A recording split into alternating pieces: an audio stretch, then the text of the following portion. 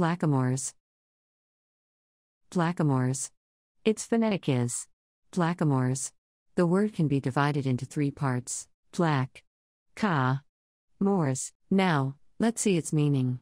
A European style of decorative art, in which dark skinned, usually male human figures are depicted in a stylized and ornate form.